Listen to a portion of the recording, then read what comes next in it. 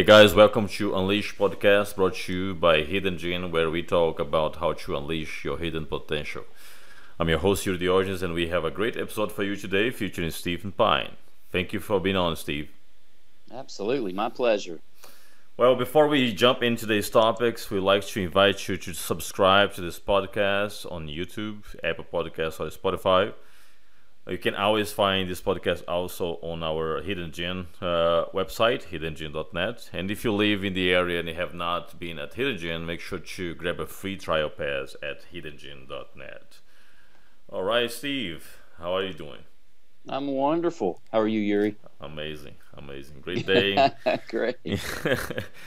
All right, so let's uh, let's talk about fitness. Uh, talk a little bit more about your story uh, when it comes to uh, weightlifting, fitness, uh, how Sure. everything started.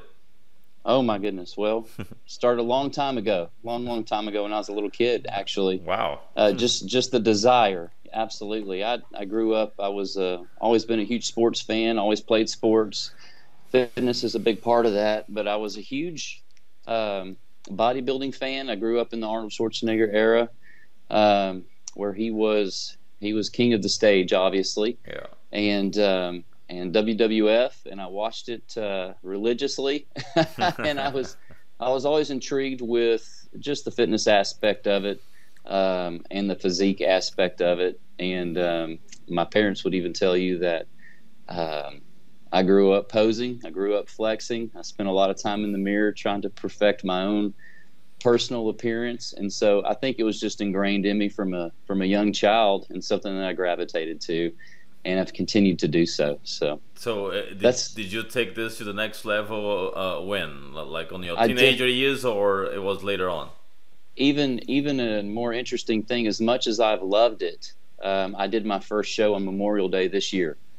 Um, Oh, I never wow. did compete. Really? Yeah. That took a while. I, uh, it took a while. It did. Um, and you know, there's some there's some probably more silly reasons uh, to that, but I was I got into sports big time. I, I played football in college and ran track, and um, and so that kind of took over that whole aspect. I always enjoyed the the weightlifting aspect of it though, um, and the the building of the body and the physique.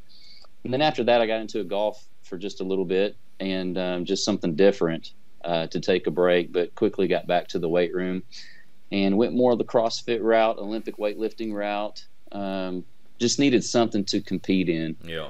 Um, I did train for a bodybuilding competition, um, man, probably back in 2006 or so, but I pulled a hamstring, ended up not competing, and um, never really, never really went back to it, at least from a bodybuilding standpoint, until uh, I met Greg at Hidden Gym and uh, mentioned a desire to do it probably a few years ago, and then he asked me. Um, about 16 weeks before Memorial Day if I wanted to do it. And so we just hit the ground running. Wow. And- so 16 uh, weeks uh, you stopped prepping. yes. And how yes, was the how was the prep weeks. since it was your first one? It was a journey. I'll tell you that. I didn't know what to expect um, at all. The food, the diet, um, the lifting aspect, it's all different. The posing was certainly a, uh, a new thing for me.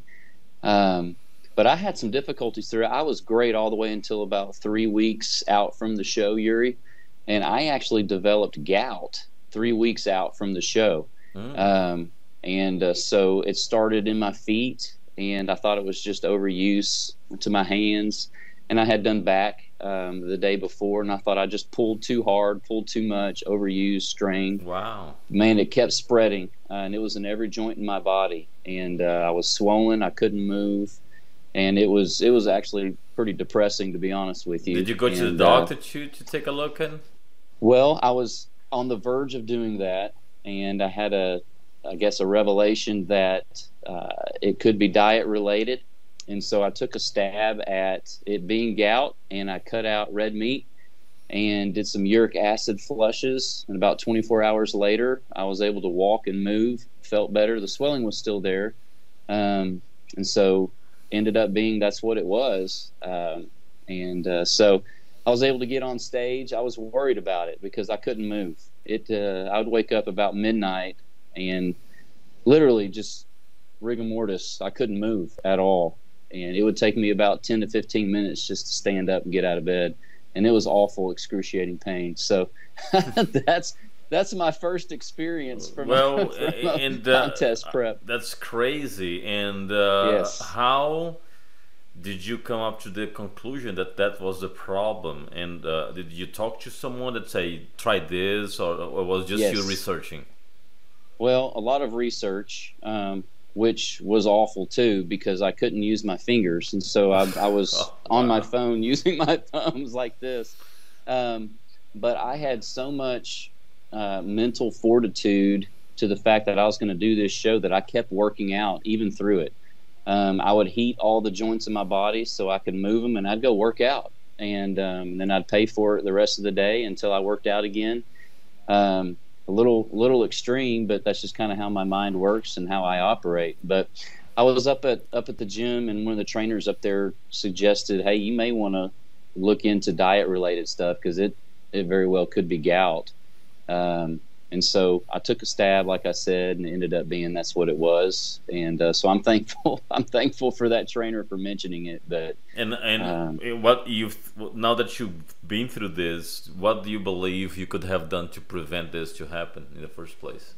Sure. I I think there's a few things, and we're going to find out when I prep again. I'm doing another show in December. Um, but uh, the red meat every night is is what it was. It's what caused it. So as soon as I cut out the red meat, um, like I said, 24 hours later, I was I was good and clear, and just needed to get rid of the swelling at that point. So you you did think- you replace the red meat for like chicken I replaced the red meat.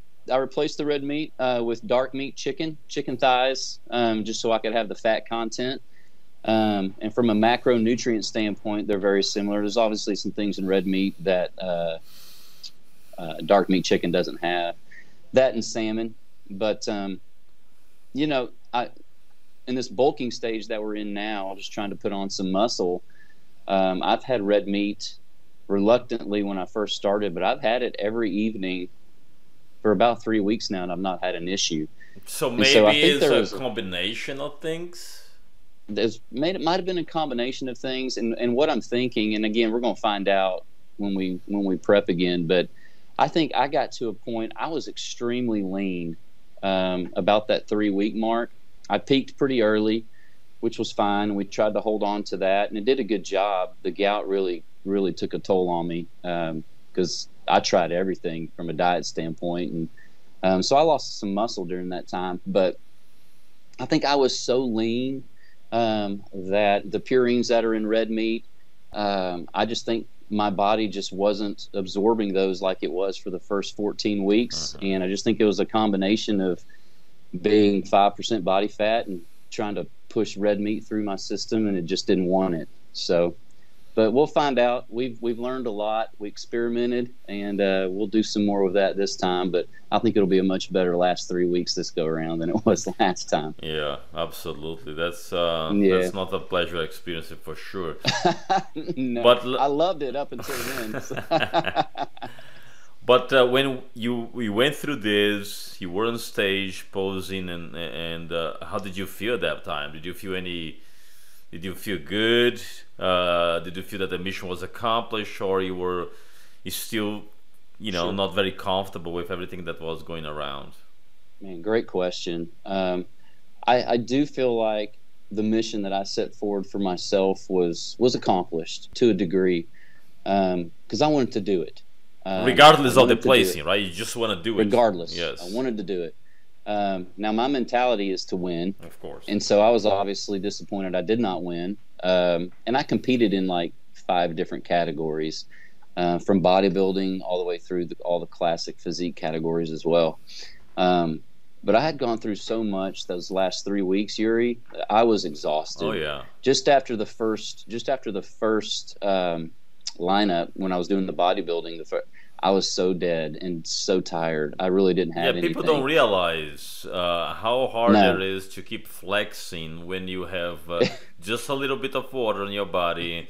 You are Yes. tired, and you have to smile, and you have to flex, and you have to Right. pay attention to all the details when you are posing. If you Right. flex all your arms, when you don't flex your ha- your your hamstrings, you know something's gonna be missing. So it's it's very That's tough. That's right. That- That's the hardest part for me. The diet, eating the foods, the same foods, that was nothing. That was easy for me. Obviously, the working out, I've been doing that my whole life. That was easy for me. The posing, the technicalities of it, uh, that was the most difficult part of the contest prep for me. And then, you know, show day, it's all a brand new experience for me. Mhm. And, um, you know, and Greg was emceeing that. So I couldn't couldn't talk to Greg at all because he's up on stage emceeing. Was this so uh, Steve Kuclo Classic? it was. Oh, it okay, was. cool. All right, cool. It was, which was a great show. And I'll do it again next year. It was a fantastic show. Yeah, I did that show in Um, 2017. It's a good experience for sure. It's a good one. It's a good one. Yeah. But um, but it was all brand new to me. From walking in the very first step to registering, getting tanned. Um, How was the next- experience of getting sand? People sometimes they don't they feel weird. Unique. it was unique. yeah. I um I obviously don't didn't mind it not one bit, but it's unique. I mean, I, I've been in locker rooms my whole life, so it, it is what it is. I, it doesn't bother me, but I didn't know what to expect. You don't expect a bunch of, of booths to be lined up, and then you go stand in front of fans to dry off with other guys standing Yeah. around, and you know for 15 minutes. Yeah. But um, but it was unique and it was all brand new. So I'm just soaking all that in, um, while at the same time trying to figure out, you know, when I'm supposed to go on stage, what I'm supposed to do, uh, what time am I supposed to go, and But Uh, so there's despite all despite all the pain and, and the struggles, I bet you that as soon as you finish, you're like, I want to do it again. absolutely, absolutely, it's uh, It's addicting. Um, it's addicting. There was never a doubt in my mind. I wanted to take my time and make that decision, and that's what I told people. Um, but but in my own mind, I knew I was going to do it again um, because I didn't accomplish everything I wanted to accomplish. Uh, number one, I didn't win. Number two, I I should have felt better on show day than I did, and I was exhausted. I didn't have anything. It, it, it got to a point where it was just really even difficult to, So- to hold the pose. so you you do feel also that you were flat, not enough fullness. I was flat. I was flat, but a lot of that's just me messing with diet those last few weeks, trying to flush out all the swelling and um, trying not to be in pain. Mhm. so um, I'm looking forward to this one. It'll be a lot different now that we're you know in the know about what's going on with my body a little bit more. Um, it'll be a much better experience. I'll have more energy um, than I did last time, and I know you're not going to have much, but it can't be less than what I had because Yeah, it was yeah. it was bad. I was flat. I was drained. I lost some muscle tissue, um, and I was I was very aesthetic. I would I'd put my uh, my aesthetic, um, I guess my aesthetic body, the part of, of my body from an aesthetic standpoint, up against anybody that was there. But they're the guys there looked bigger than me because they were fuller. Talking Um, about bigger, which uh, weight division did you go? Well, uh, that's another thing too. So I was supposed to be in Class B, which is 197 and below, um, and for some reason I was in Class C, which is 204, um, and it wasn't height because I hit the height mark too. So there was a little a little mishap there, but it's no one's fault. But there's just a little mishap. Yeah, but there. what was your weight But- on the day on the on the day of the show? 194. And did you and you when you started prep, how uh, where where were you? 216. Oh, so not a whole lot. not a whole lot. I didn't have I did not have much to lose, which is why I, I peaked a little early. Um, but uh, and I lost it pretty quickly. Um, but you know, I if I would have brought the physique I had three to four weeks out as opposed to the one I had on show day, and it's no one's fault except for food. I mean, we did everything that we could. Um, I would have had a little bit different experience, I believe. I would at least felt better, Mhm. um, and I looked better too.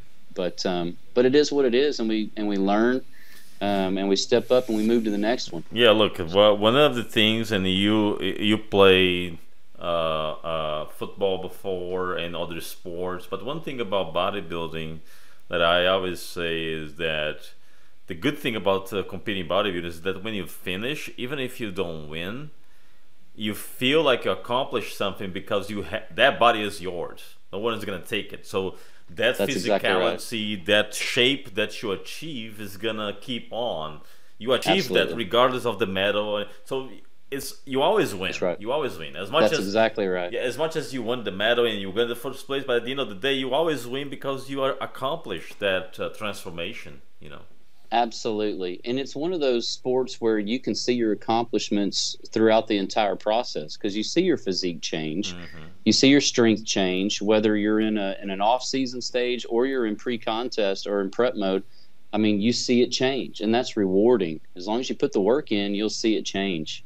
And you're exactly right. It's it's your body, and you're going to see the results of what you put into it. So, if you work hard at it, you put the put the energy toward it and you do it the correct way you'll see change if you don't you won't it's it's on you the individual Yeah, so because there's a lot of people that they also create a, a wrong expectation about competing for the first time. I mean, a lot of people they want to compete for the first time and they want immediately wants to win.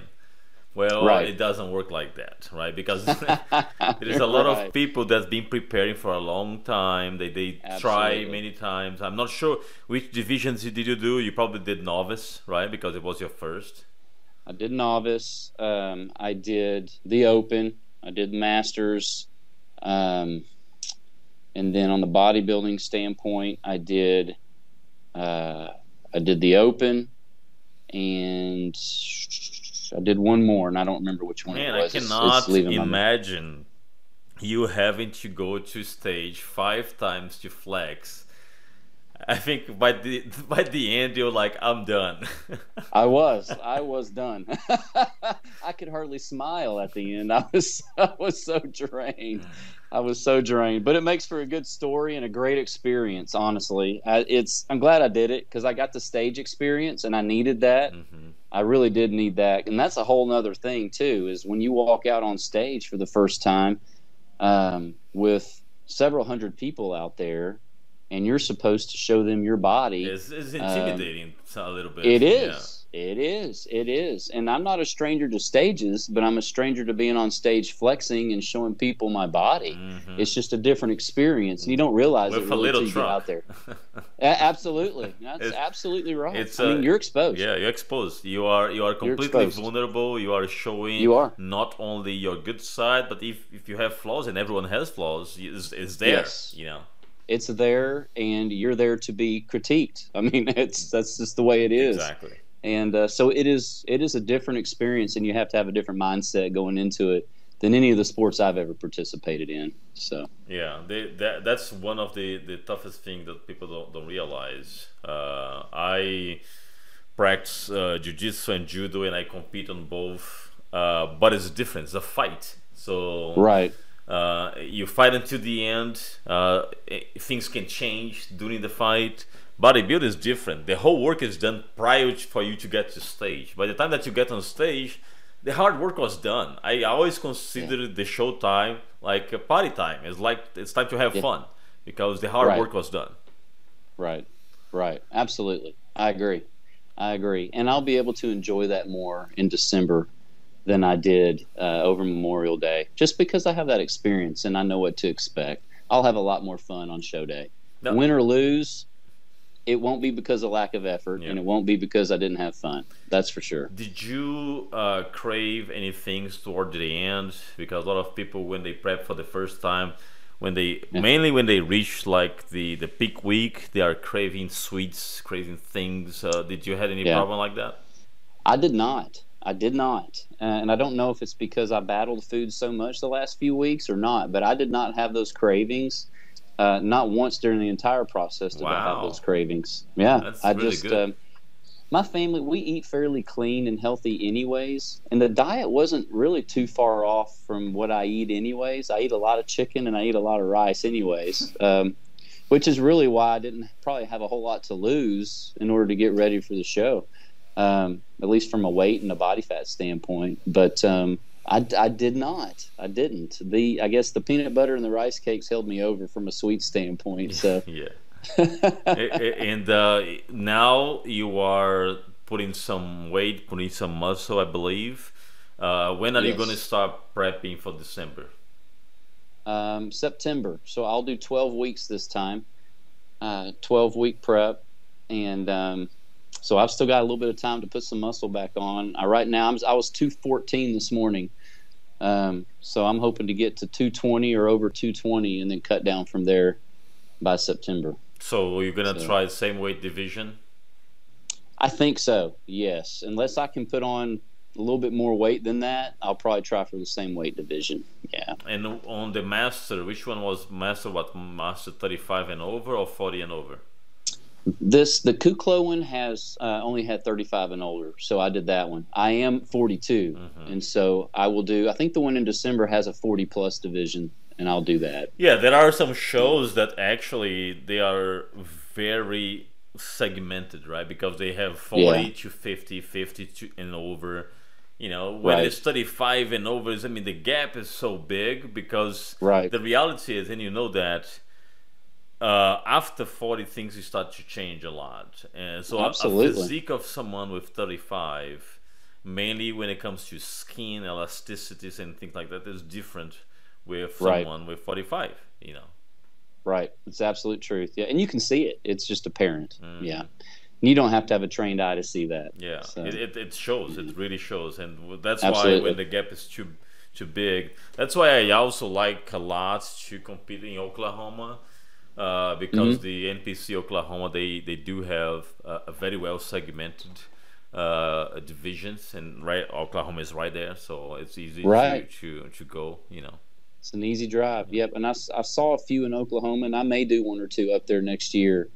Um, I'm gonna do this one in December here in Irving. Um, this one Battle Up Productions puts on, and then um, we'll we'll see what happens next year. But I'm looking forward to it.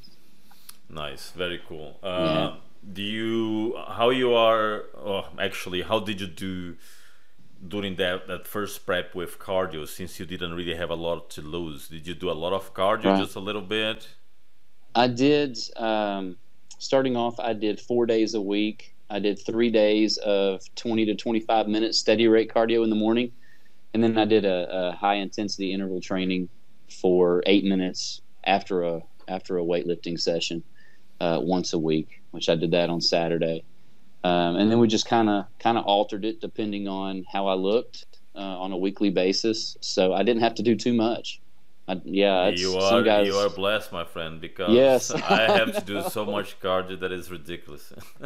I I am aware that is common. Yes. so, and it is uh, cardio is kind of my nemesis, my uh, uh nemesis. I, I do not care for. I was a sprinter in college, and so it's the the powerful explosion movements and this, the long distance stuff or doing it for a while. I get bored. Oh, really? you don't bored. like card? You don't like card at all? I don't. I can listen to music and listen to an audio book, or but I can only do it for so long, and I just I have to do something else. So so I'm fortunate. I didn't have that much to do. Absolutely. So are you trying to keep it uh, lean during this bulking phase right now so you don't gain a lot of fat? I'm trying to keep it clean, yes. Um, I don't want to gain a whole lot of fat, and my metabolism's still pretty high. It's it's pretty good for a 42 year old, so I don't have a whole lot to worry about. I'm eating one cheat meal a day. It may go to two um, when I start plateauing on a weight standpoint, but um, yeah, I don't. I just don't. If I have to do 40 minutes, I'll do it. If I have to do an hour, I'll do it. But if I don't have to, I'd like to avoid it. Yeah, absolutely. so, yes. um, besides the food, which was a lesson mm-hmm. learned for you, which you, you're gonna get this feedback and incorporate on the next prep. What right. else are you planning to do differently that you sure. identify as weakness? Uh, there is any right. specific body part that you're like, I need to improve yep. this, improve that. Absolutely. Uh, I would two things um, back. My back is is the weakest body part, and that's just because with the sports that I've played, is they're all they've all been so shoulder heavy. Mm. Um, you have to have big, strong shoulders. I've always pulled with my shoulders. I've done everything with my shoulders, and so I have to catch up from a back standpoint. Uh, so I'm working on that. We need more width back there. We need more thickness back there, and so I'm I'm pounding the back. Um, second would be the stage presence and the posing. Um, I just got to get more technical with it. I have to get more comfortable with it. I have to get more fluent with it. And so I'll be doing a lot more uh, a lot more posing. I'm assuming that I you're doing some some posing class, right? Yes, absolutely, Yeah. which was great. Um, I just I needed to do more on my own as well, um, and so I will I will certainly implement that uh, at the house. Just getting comfortable with it and holding them, even in the weight room when I'm doing certain movements, um, implementing the poses while I'm doing those movements uh, will better prepare me for for being on stage. Yeah, the, and maybe the transitions in between uh, Absolutely, uh, uh, the mandatory poses is very important. Right. too. absolutely. Because I've seen guys that that were really big, but they were hiding their uh, their muscles basically because Yes. they didn't know how to pose. And then there was That's a right. guy that was smaller, but he was able to open up completely because he knew how to pose. Yes, absolutely. It can make or break you. Absolutely. So I've got to get better in that area too. So those two things, those are my main areas of emphasis um, before this next show. I'm really working on. As far as uh, and and of course uh, the the food and everything will help with the fullness on stage because you said that you got a little bit flat. Uh, I did. What about vascularity? Were were you on point on vascularity? Yes, absolutely. Yeah, I didn't have any issues there. Yeah, I was on point there. I most everything else from a physique standpoint was there. Um, it, it's other than just size. I needed more size, especially in the back area. Um, my my lats and my back, Mhm. uh, they killed me, and so it just made me look smaller than I was, and that's okay. We're working on Yeah. it. So uh, it is what it is, and I trained for 15 weeks for it, and I have to remember that. Yes, it was a very short period for one for a a, a sing, uh, first prep for sure. It is. Now, did you have a lot of support from your family when you decided to do that? Absolutely. They were all on board, uh, which makes it a whole lot easier. So Yeah. They were all on board. And the good thing is, with the, the amount of cardio that I had to do, being as little as it was, I, uh, I was able to facilitate my workouts and my cardio time outside of family time. Mhm. And so nothing sacrificed from a family standpoint, nothing sacrificed from my business standpoint. So I was able to get everything done like I normally do, uh, just in odd hours where my kids were asleep. And um, so that was nice. Yeah, that's That great. very, you don't have nice. to compromise family time for sure because that's another right. problem that happens when people are going to compete for the first time is they start dropping everything around them, work, family, because they are so focused, right? Right, absolutely. And uh, that's not healthy, in my opinion. That Mhm. is not healthy. not. uh, unless it's just you and this is this is your career and what you want. Um, if you've got a family and you have a career already, and it's something that you're wanting to do as a goal, you've got to balance that Yeah. because it can be easy to get sucked in. It can get Exactly. really easy to be sucked in. Absolutely, it definitely can, and uh, it, I've seen going sideways for, for many people. Uh, but I'm glad that you were able to keep that balance. It's extremely important. Yeah, it, it was it was important to me to do that, and so now I wake up at 4:04 every morning.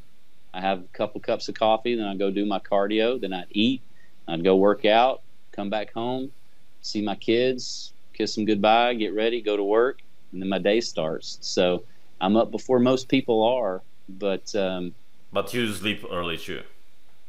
I go to bed about 8:30, 9 o'clock. hmm Yeah, yep, That's go to good. bed about eight thirty nine o'clock. Yeah. So you get a, a solid six, seven hours sleep. I try to get at least 7 Mhm. Yes, yeah, try to get seven. Was the recovery for you also something that you felt you had to do more uh, since you were training more? I'm sorry. Is the what The, the recovery. Oh, recovery. Um, it was a different style training because it's more focused than I'm used to. Um, so that was a little bit different, but but not necessarily. So you didn't Um, do any type of cryotherapy or anything like specifically to get uh, recover faster? I did cryo maybe twice. Um, and one of those times was when I was starting to experience the gout symptoms and didn't know what it was. I went and did some cryo, and um, but from a, a recovery standpoint like that, no. Mhm. I did. Um, you know, I went for walks and things. I have to keep moving to keep the blood flowing. Uh, but fr- from a cryo standpoint, I got a couple massages also. but um, but I felt fine. My body felt okay. My body's pretty used to getting beat up uh, and working out heavy. I've done it for so long. Uh, I didn't have too many issues with that.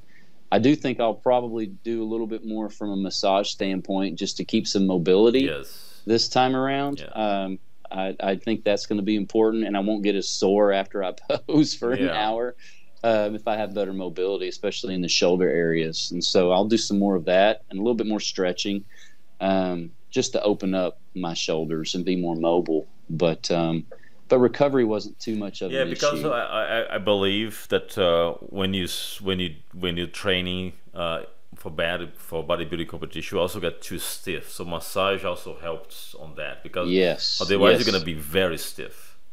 Absolutely. Well, I had a massage two days ago. Um, I did about 20 minutes of mobility work this morning after I worked out. It it's taken a little bit more of a, uh, a priority this time around. So Yeah, no, I, I think. I think December you're gonna kill it, man. You're gonna do so good because you you so, learn yeah. so much. Uh, again, even if you don't win, your experience Right. will be tremendously uh, different just because Right. You're gonna feel more comfortable. You, you you're gonna feel that you belong, right? You, you're not gonna have the, the issues that you had, so it's gonna be great. Right. absolutely, I'm looking forward to it, and I appreciate that that vote of confidence for me. Oh yeah, So- I'm, I'm, I'm, sure. Are you are you working with Greg again on this one? working with Greg um, and working with Jeff Dwelly the, on the posing Oh, yeah, stuff Jeff is again. great. He's great. Yeah, yeah. He's great.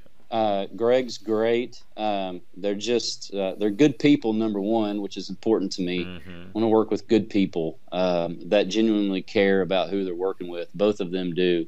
Um, but uh, but Greg's great about that. Communicates well. Uh, and truly does have a concern and care for everybody that he's working with. I think and you so, are in great hands with Greg and Jeff. I both were my coach uh, Yeah. in the past, uh, and Jeff is like this mastermind of posing. So can He cannot is. go wrong with him. He is. He. Is. I. I wish I could keep up with him, but uh, when he when he gets in there and starts working on your routine, and you watch him, and then then you see yourself do it, you're just kind of like, man, that I didn't quite look like that, and you just made it up. So, It's amazing. uh, it's amazing. he's good. Yeah. He's very very good. Absolutely. So yeah, I'm I'm blessed to have those guys definitely standing beside me as I prepare for these things. I know that to be true. Amazing, So, Steve. Uh, yeah. Thank you very much for your time for for uh, taking the time to record this episode. Appreciate. absolutely. Uh, good luck on the prep. Thank you. Uh, and looking forward to see you on the stage again. Thank you. I appreciate that. I'm looking forward to being on stage. all right, all right, everyone. That's a wrap for today's episode. Thank you very much. Stay tuned. We have much more to come.